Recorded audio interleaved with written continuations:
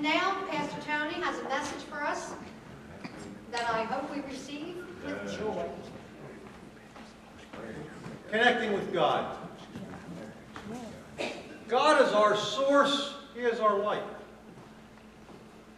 Now, I'm going to use an illustration here with this electric light. In order for that light to light up, we need to connect it to the power source. So I'm going to go ahead and plug it in. Got it plugged in. But I have no light. People sometimes think that just by being plugged in and going to church, they're connected with God. We've made the connection. But as on a light, besides that connection, there is what we call an open and close or an on and off. Open and close. So if I open the switch, I now have the light. Hmm. Just like when we are in church or we are reading the Bible, we're plugging in, but have we truly connected? Hmm. Have we opened our hearts to receive that source, that power, and that light from God? Because when we close, we're in darkness. And darkness is where things can go wrong. But when we open our hearts and minds to the source, we are connected. In Isaiah 59 and verse 2, the Bible tells us that we are separated from God because of our sins. That's when we're in the darkness. So if we are separated from God, how do we connect to God? That is the question that I will answer today. I hear younger folks say, hey, you want to hook up? Heard that, right? You want to hook up? Well, connecting to God is hooking up with God. God does want to connect with you. Connecting with God is not about religion or going to church or performing repetitious reciting of the same prayer over and over. Talking to God in prayer is the best way to connect with Him. He is your best friend.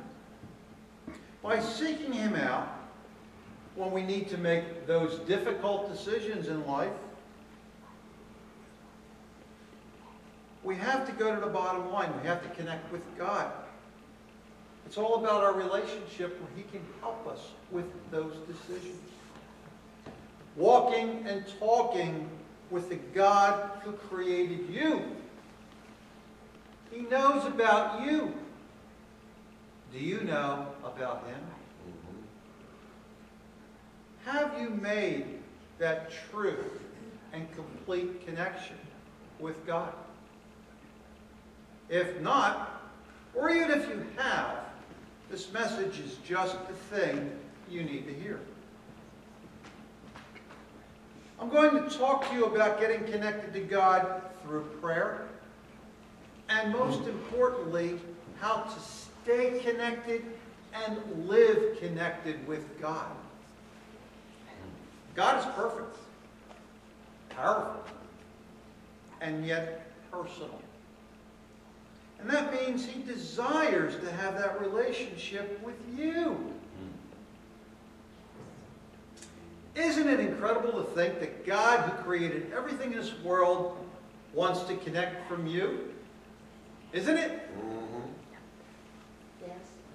Yeah? Can I get an amen? Amen. Hallelujah. Amen. Hallelujah. I think that sometimes we have begun to be cavalier and casual about God, and sometimes we don't take the time to really think about how incredible He really is. You know, if God wanted to, He could use such a grand display in the skies of this world that there would be no doubt of His existence, and everybody would believe. Even the most die-hearted atheist hmm. God made some displays in the sky and appeared to everybody. He's up there. Yeah, he's up He could do this, but he does not.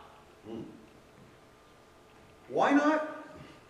Because he requires us to have faith. Hey. And sometimes he tests our faith. Mhm. Amen. Mine's been tested. Yeah. And I'm sure your faith has all been tested from time to time. We're constantly going through that test. The Bible tells us in Deuteronomy 34, th- excuse me, 32, 4, Hmm. He, God, is the rock. His works are perfect, Yes. Amen. and all his ways are just. Yes. A faithful God who does no wrong. Hallelujah. Upright and just is he. Yes. Also, we find in Isaiah, another scripture, it says, God created the heavens and the earth and put everything in its place. He made the world to live in and not be an empty chaos. Yes. God created the world, which reflects his magnificent power. He created the earth and all its beauty. He created a perfect balance of everything in the world. Mm. It's a balance. The beauty in nature is expressed in the creativity of God. Mm. He could have made the world dull, black, white, or gray. He could have made foods with no taste. He could have created one note in music. Instead, our music has scale has 12 notes and many different pitches and frequencies. Just think of a world without color, without taste, or without beautiful music. Now, how dull would that be? Hmm.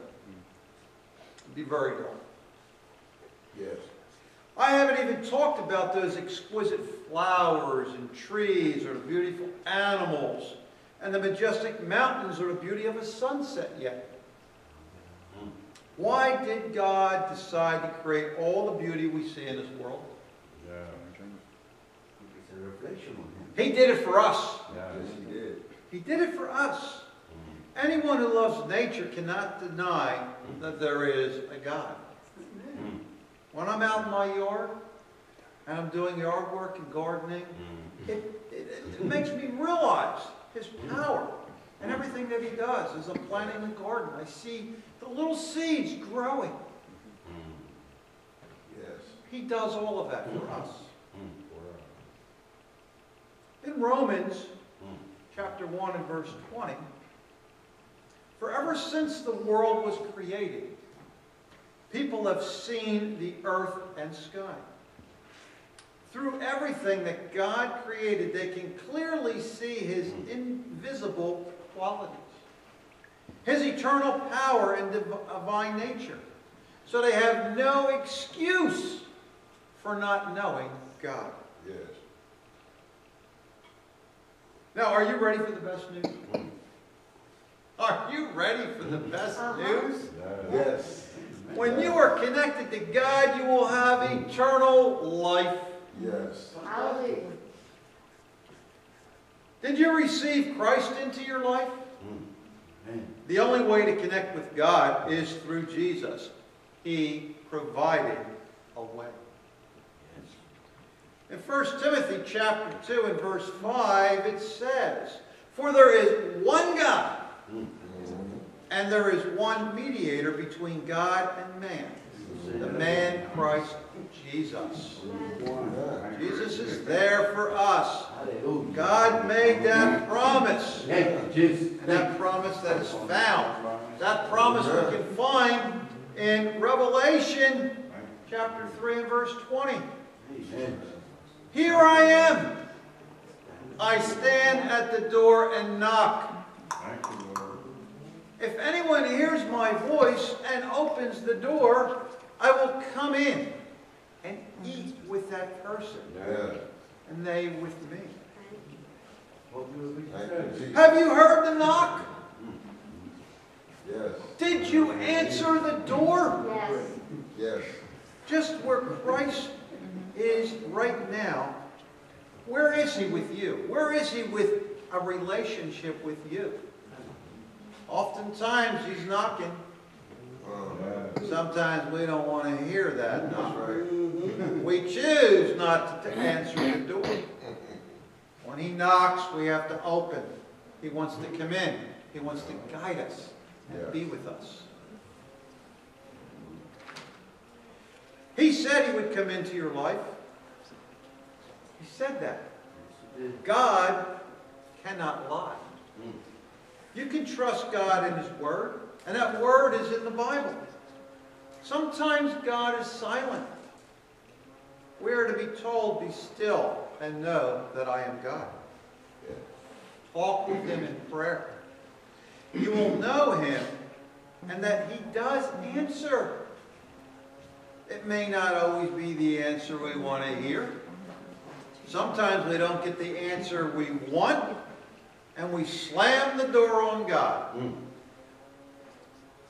But maybe He didn't answer it yet.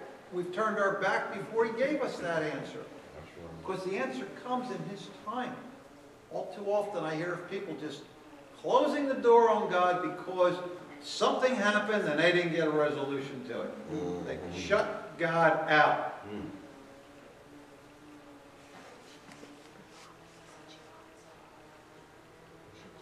The Bible promises eternal life to all who receive Christ.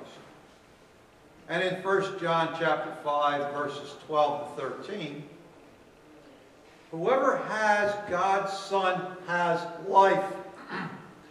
Whoever does not have his Son does not have life. Pretty straightforward. I have written this to you who believe in the Son of God, so that you may know you have eternal life. Amen. Yeah. Pray to God and thank Him often that Christ Thank is you, your life and that He will never leave you. Great. In Hebrews 13:5, keep your lives free from the love of money Yes. Yeah. and be content with what you have. Hallelujah. Thank you, Lord. Because God has said, Never will I leave you and never will I forsake you. People substitute things in place of God, and money is one of those things. Things that are put in place of God. Be content. Yes. Don't, don't covet after other things. God will bless us with what we need at the time we need it. Yes, He will. Be thankful and thank Him every day for what you have. Thank you, Lord. He says that He will never leave you. You see, you have eternal life from the moment you have received Him. Stay connected.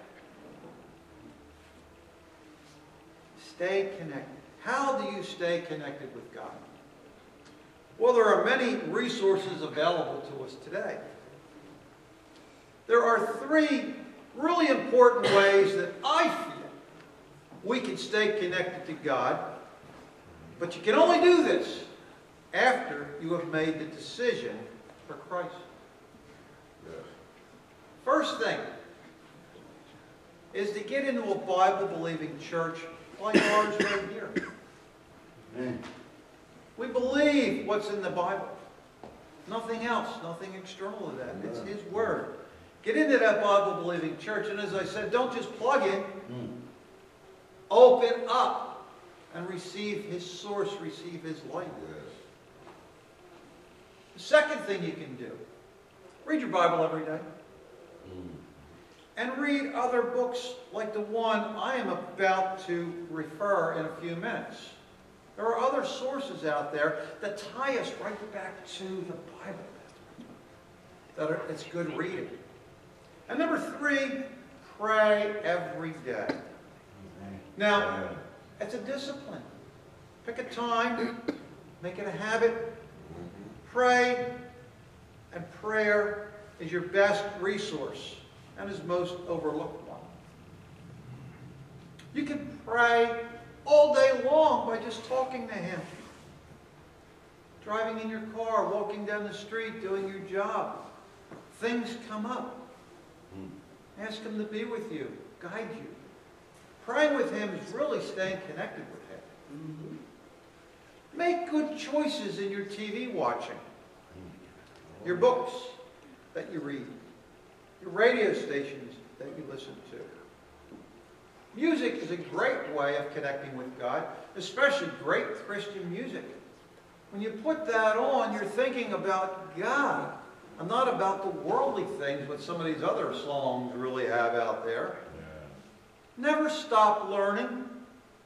There's one thing I have learned is that first we must believe in the truths from the Bible. And every time I pick my Bible up and open it up, even though I've read that passage before, I'd still learn something Yes. new. Mm-hmm. God is talking to me and showing me. Mm-hmm. That will keep you connected to God. So staying in the Word and listening to God and praying all the time will keep you connected to God. Now, I recently attended a prayer revival meeting, and I felt the connection. It was stronger than I ever mm. felt before. When I left that place, I was just really not only plugged in, but turned on, and I felt His power. Yeah. When I closed my eyes, I actually saw the light. Hmm. Praying to Him. In the darkness, the light came through. The organizer of the meeting, Jim Maxim, gave me his book titled Face to Face with God. Hmm.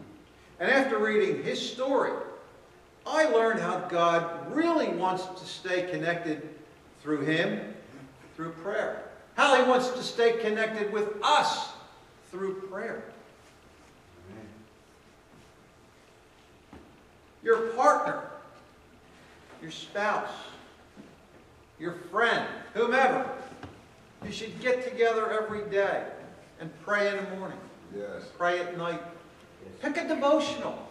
Read a devotional. Devotionals are great ways of helping us understand the Word of God as they reference certain Scripture and they pull it apart. And all of a sudden you can see, wow, this really does apply to me today. It's how I should be living my life.